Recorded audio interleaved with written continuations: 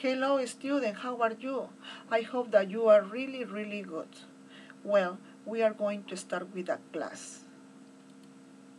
The class is COVID-19, my family and me. What is COVID-19? Let's self-assess. Esto, jóvenes, es una autoevaluación. Ustedes se van a hacer una autoevaluación y tienen que ser sinceros, marcar una X, ¿no? Hay seis preguntas que te están hablando de lo que es el COVID, ¿ya? Y, y hay con cuatro alternativas. Ustedes van a marcar solamente una alternativa por cada pregunta. ¿Ok, chicos? Después vamos a hacer esto de acá. Miren, ustedes acá ven ocho figuras ya ocho cuadros acá que se están hablando, que te van a hablar sobre lo que es what is COVID-19, qué cosa es el COVID-19 y acá te, lo están representando a través de imágenes. ¿Qué voy a hacer yo? Voy a colocar. Ya les puse acá jóvenes, por ejemplo, for example, eh, number two is, is, okay, picture number C, letter C. Number three is picture el G. Number 4, H. Number 5, F. Number 6, E. Number 7, D. Number 8, B. ¿Ok? Miren, ¿por qué les estoy dando rápido? Porque acá ya les voy a explicar, abajito ya chicos, acá. Acá me están poniendo el orden que les he puesto arriba, les he puesto el orden que está arriba, y acá está la lectura ya a través de letras, ¿no? What is COVID-19? ¿Qué cosa es el COVID-19? No, COVID-19 is part of the coronavirus family. The name of the virus is similar, similar to a crown. Crown in Spanish is corona. Coronavirus only affect animals in the past, but it mutated. The new mutation affect humans. The new virus is COVID-19. COVID-19 incubates in the human body for 14 to 15 days. Usually no symptoms appear. Our immune system fights COVID-19 to protect our body. During this fight, you can have fever, feel tired, cough, and have difficulty breathing. Uh, if you have the symptoms, call COVID-19 emergency. In Peru, the number is 113. COVID-19 affects especially vulnerable people uh, like our grandparents. Let's protect them and stay home. Acá me están explicando sobre lo que es el COVID-19, ¿no? Que es el nombre de un virus que es similar a una corona, dice acá, ¿no es cierto?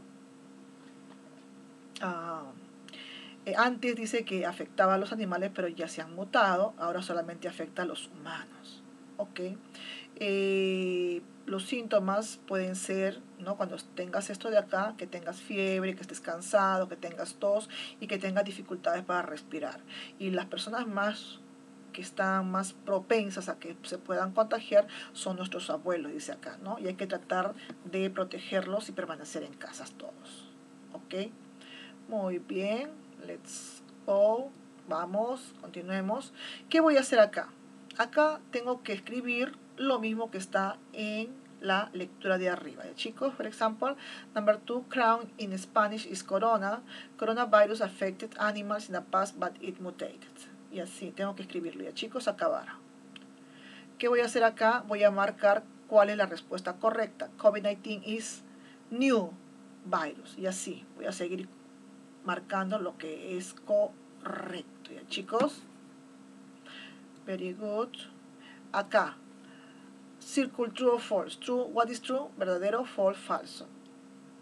Okay. For example, one symptoms is fever. True or false? Uno de los síntomas es fiebre. ¿Verdadero o falsos?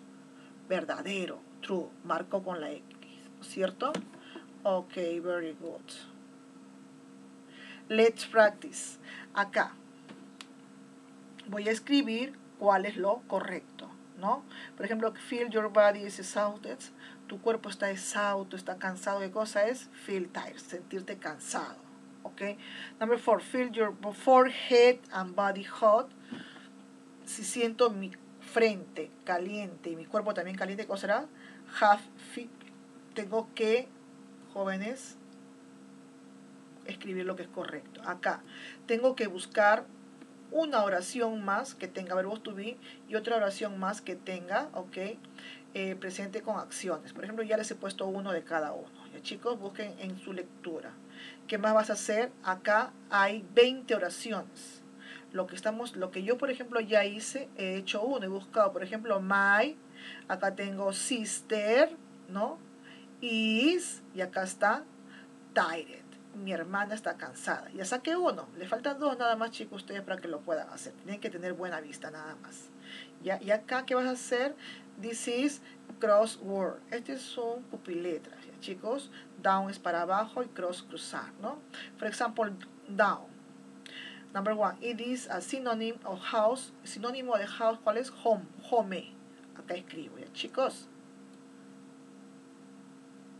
Luego, do it yourself. Hay dos alternativas que te están pidiendo. Bien haces un organizador gráfico o haces un póster, un afiche. ¿Estamos?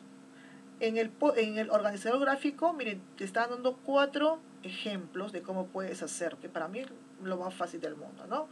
Acá si deseo le pongo una figura, si no, no. ¿Ya, chicos?